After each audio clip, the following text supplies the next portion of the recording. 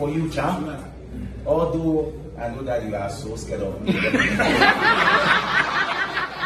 You see, this is what they've been doing to themselves all the time. You're so scared of me. I think. It's okay, not tonight.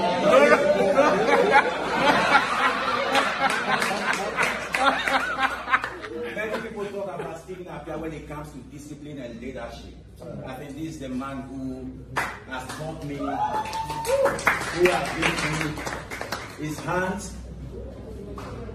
I'm so happy when it comes to Champ. I'm so happy. I mean, growing up, we heard so much stories. This is a man who used his whole money to pay for the whole Ghana to watch him. So being here, I think we are not doing much for him. But I feel so special because 32 million population that we have here, everybody.